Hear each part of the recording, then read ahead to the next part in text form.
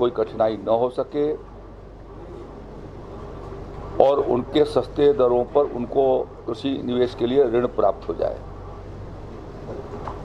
साथ में ही जो किसान इच्छुक होंगे, उन सभी किसानों का प्रधानमंत्री फसली बीमा योजना का के भीतर उनको नियमित किया जाए, जिससे आपदा की स्थिति में यदि उनका जिससे कम वर्षा या अधिक वर्षा की वजह से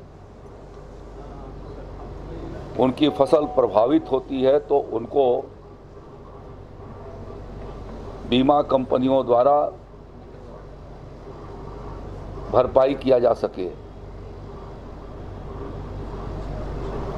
इस दृष्टि से उन्हें प्रचार प्र, बैंकर्स को कहा है कि वो प्रचार प्रसार करें केसीसी के लिए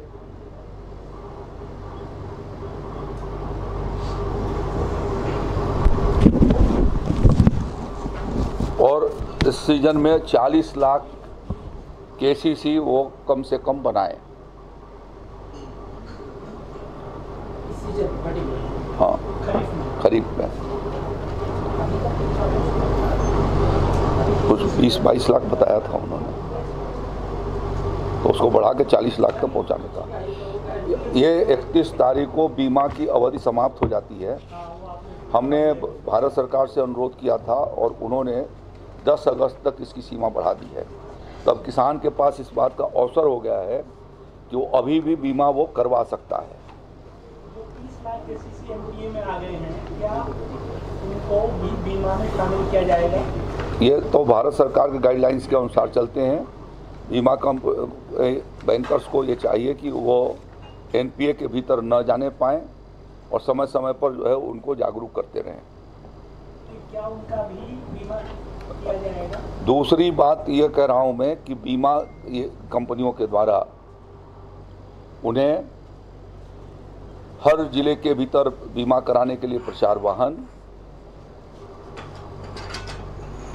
कार्यालय वहाँ पर खोला जाना, कार्यालयों का जनप्रतिनिधियों या जिला प्रशासन के द्वारा उद्घाटन कराया जाना और ग्रामीण बड़े बाजारों के भीतर प्रचार किया जाना, इसके लिए हमने उनको निर्देशित किया है। को अभी आने वाला है इकतीस अगस्त। तेरह चौदह लाख हुआ था।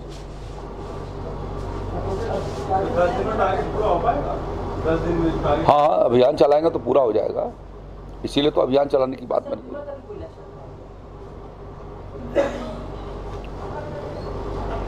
तीसरा, चौदह जनपद यहाँ पर कम बारिश हुई है।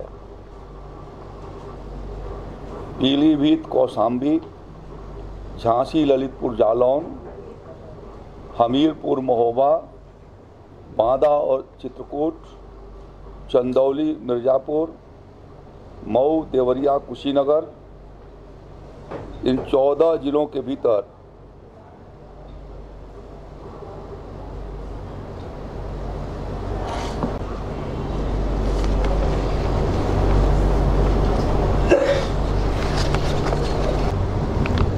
इस पे गौर हिंदी में ये जो फिगर बता रहे हैं, अभी पंद्रह, ये हम लोग जो बैंक काटता है फ़ीड करने की तिथि पंद्रह अगस्त है। तो अभी आप इस फिगर